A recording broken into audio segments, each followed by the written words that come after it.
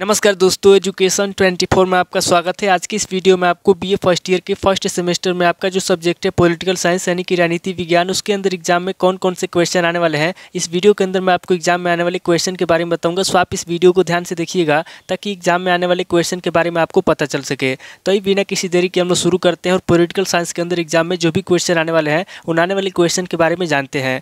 तो यहाँ पर सबसे पहले हम लोग लघु उत्तरी प्रश्नों के बारे में जानेंगे। तो लघु उत्तरी प्रश्नों में पहले प्रश्न की बात की जाती है पे आपका पहला प्रश्न दिया हुआ है, मुख्य निर्वाचन आयुक्त पर संक्षिप्त टिप्पणी लिखिए। पहला क्वेश्चन कह रहा है जो मुख्य निर्वाचन आयुक्त है, यहाँ पे आपको मुख्य निर्वाचन आयुक्त पर संक्षिप्त टिप्पणी लिखना है। अब अगले क्वेश्चन की बात की जाए तो यहाँ पर आपका दूसरा क्वेश्चन दिया हुआ है, केंद्र और राज्यों के बीच राजस्व के प्रमुख साधनों का संक्षेप में कीजिए। दूसरा क्वेश्चन कह रहा है, जो केंद्र और राज्य हैं, यहाँ पे आपको केंद्र और राज्यों के बीच राजस्व के प्रमुख साधनों का संक्षेप में करना है। अब अगले क्वेश्चन की बात की जाए तो यहाँ पर आपका तीसरा क्वेश्चन दिया हुआ है, राजस्व न्यायालय पर संक्षिप्त टिप्पणी लिखिए। तीसरा क्वेश्चन कह रहा है, जो राजस्व न्यायालय है, यहाँ पे आपको राजस्व न्यायालय पर संक्षिप्त टिप्पणी लिखना है। अब अगली क्वेश्चन की बात की जाए तो यहाँ पर आपका चौथा क्वेश्चन दिया हुआ है, दीवानी न्यायालय पर संक्षिप्त टिप्पणी लिखिए। चौथा क्वेश्चन कह रहा है, जो दीवानी न्यायालय है, यहाँ पे आपको दीवानी न्यायालय पर संक्षिप्त टिप्पणी लिखना है। अब अगले क्वेश्चन की बात की जाए तो यहाँ पर आपका पांचवा क्वेश्चन दिया हुआ है, उच्च न्यायालय के क्षेत्राधिकार को बताइए। पांचवा क्वेश्चन कह रहा है जो उच्च न्यायालय है, यहाँ पे आपको उच्च न्यायालय के क्षेत्राधिकार को बताना है। अब अगले क्वेश्चन की बात की तो यहाँ पर आपका छठा क्वेश्चन दिया हुआ है,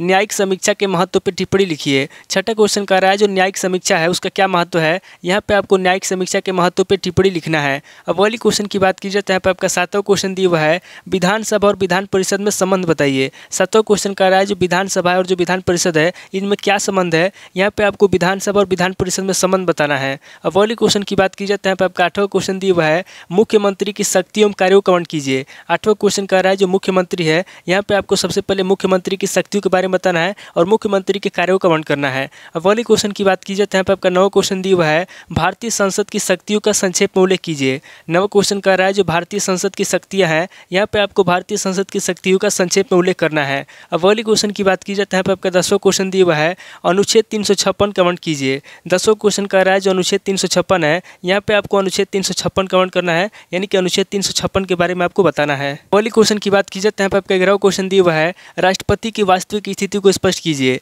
ग्यारह क्वेश्चन कर रहा है जो राष्ट्रपति की वास्तविक स्थिति है, यहाँ पे आपको राष्ट्रपति की वास्तविक स्थिति को स्पष्ट करना है। अब अगले क्वेश्चन की बात की जाए यहाँ आपका बारह क्वेश्चन दिया हुआ है। संविधान में संशोधन की प्रक्रिया का संक्षेप में उल्लेख कीजिए। बारह क्वेश्चन कर रहा है जो संशोधन की प्रक्रिया है, यहाँ पे आपको संशोधन की प्रक्रिया के बारे में बताना है। अब अगले क्वेश्चन की बात की जाए यहाँ आपका तेरह क्वेश्चन दिया हुआ है। शोषण के विरुद्ध अधिकार अनुच्छेद तेईस और चौबीस का उल्लेख कीजिए। तेरह क्वेश्चन कर रहा है जो शोषण के विरुद्ध अधिकार अनुच्छेद तेईस और चौबीस है। यहाँ पे आपको अनुच्छेद तेईस और चौबीस के बारे में बताना है। अब अगली क्वेश्चन की बात की जाए तो यहाँ पे आपका चौदह क्वेश्चन दिया हुआ है, आदर्श नागरिक के गुण लिखिए। चौदह क्वेश्चन कह रहा है, जो आदर्श नागरिक है, उसके क्या गुण होते हैं? यहाँ पे आपको आदर्श नागरिक के गुण लिखना है। अब अगली क्वेश्चन की बात की जाए तो यहाँ पे आपका पंद्रह क्वेश्चन दिया हुआ है, भारतीय स्वतंत्रता अधिनियम उन्नीस सौ सैंतालीस की प्रमुख धाराएँ क्या है? पंद्रह क्वेश्चन कह रहा है, जो भारतीय स्वतंत्रता अधिनियम उन्नीस है, यहाँ पे आपको भारतीय स्वतंत्रता अधिनियम उन्नीस की प्रमुख धाराओं के बारे में बताना है। अब अगली क्वेश्चन की बात की जाए तो यहाँ पे आपका सोलह क्वेश्चन दिया हुआ है।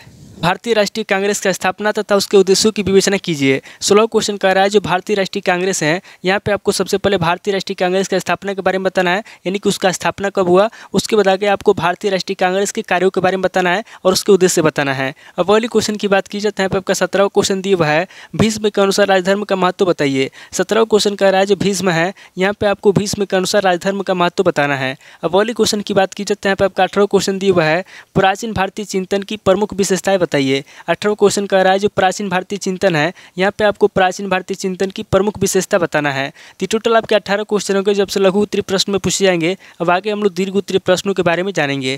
तो यहाँ पे दीर्घ उत्तरीय प्रश्नों में पहले प्रश्न की बात की जाए तो यहाँ पे आपका पहला प्रश्न दिया हुआ है, राजधर्म के महत्व में राजा के कर्तव्यों का उल्लेख कीजिए। पहला क्वेश्चन कह रहा है, जो राजधर्म है, उसका क्या महत्व है? यहाँ पे आपको सबसे पहले राजधर्म का महत्व बताना है, उसके बाद आगे आपको राजा के कर्तव्यों का उल्लेख करना है। अगले क्वेश्चन की बात की जाए यहाँ पे आपका दूसरा क्वेश्चन दिया हुआ है, शांति पर्व में दंड नीति की अवधारणा की व्याख्या कीजिए। दूसरा क्वेश्चन कह रहा है, जो शांति पर्व है, यहाँ पे आपको शांति पर्व में दंड नीति की अवधारणा के बारे में बताना है और उसकी व्याख्या करना है। अब अगले क्वेश्चन की बात की जाए तो यहाँ पर आपका तीसरा क्वेश्चन दिया हुआ है, असहयोग आंदोलन के कारणों एवं परिणामों की विवेचना कीजिए। तीसरा क्वेश्चन कह रहा है, जो असहयोग आंदोलन है, उसके क्या कारण है? यहाँ पे आपको असहयोग आंदोलन के कारण बताना है और उसके परिणामों की विवेचना करना है।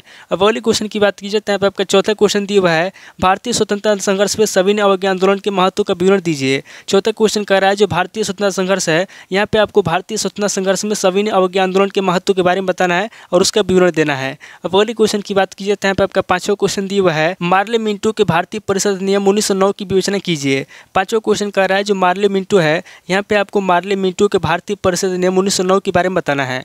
अब अगले क्वेश्चन की बात की जाए तो यहाँ पे आपका छठा क्वेश्चन दिया हुआ है, संविधान द्वारा प्रदत्त स्वतंत्रता के अधिकार की विवेचना कीजिए। छठा क्वेश्चन कह रहा है, जो संविधान है, यहाँ पे आपको संविधान द्वारा प्रदत्त स्वतंत्रता के अधिकार के बारे में बताना है। अब अगले क्वेश्चन की बात की जाए तो यहाँ पे आपका सातवां क्वेश्चन दिया हुआ है, भारतीय संविधान में संशोधन की प्रक्रिया की विवेचना कीजिए। सातवां क्वेश्चन कह रहा है, जो भारतीय संविधान है, यहाँ पे आपको भारतीय संविधान में संशोधन की प्रक्रिया के बारे में बताना है।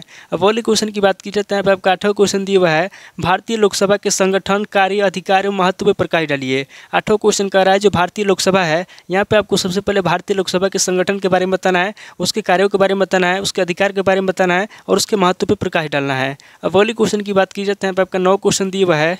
संसद में कानून निर्माण प्रक्रिया कमेंट कीजिए। नौ क्वेश्चन कह रहा है जो संसद है, यहाँ पे आपको संसद में कानून निर्माण प्रक्रिया का वर्णन करना है, यानी कि संसद में कानून का निर्माण किस प्रकार होता है, उसके बारे में आपको बताना है। अगले क्वेश्चन की बात की जाए तो यहाँ पे आपका दसवां क्वेश्चन दिया हुआ है, राज्य मंत्री परिषद के अधिकारों कार्यों का वर्णन कीजिए। दसवां क्वेश्चन कह रहा है जो राज्य मंत्री परिषद है, यहाँ पे आपको सबसे पहले राज्य मंत्री परिषद के अधिकारों के बारे में बताना है और उसके कार्यों का वर्णन करना है।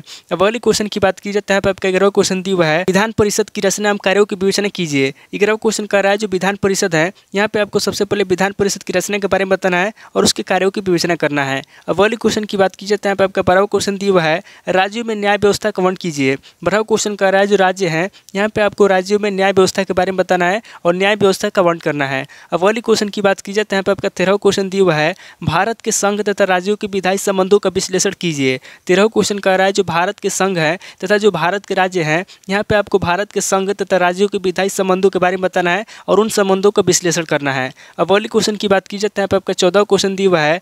भारत में चुनाव के दौरान धन और बाहुबल के उपयोग को रोकने के लिए आप क्या सुझाव देंगे? चौदह क्वेश्चन कह रहा है कि जो भारत में चुनाव होता है तो चुनाव के दौरान जो धन और बाहुबल का प्रयोग होता है, उसको रोकने के लिए क्या सुझाव देना चाहेंगे, उसके बारे में आपको बताना है। तो टोटल आपके चौदह क्वेश्चन हो गए जब से दीर्घ उत्तरीय प्रश्न में पूछे जाएँगे। तो इस वीडियो के अंदर मैंने आपको लघु उत्तरीय प्रश्न और दीर्घ उत्तरीय प्रश्न, दोनों तरह के प्रश्नों के बारे में बता दिया। सो आप इन प्रश्नों को नोट कर लीजिए और किसी किताब से सीरीज़ से मिलाकर के याद कर लीजिए। तो दोस्तों, आज इस वीडियो को मैं पे स्किप करता हूँ। मिलता है आपसे नेक्स्ट वीडियो में। अगर आपको वीडियो अच्छा लगा तो वीडियो को लाइक कीजिए शेयर कीजिए और कमेंट करके बताइए कि आपको नेक्स्ट क्वेश्चन पेपर किस सब्जेक्ट के ऊपर चाहिए। थैंक यू दोस्तों।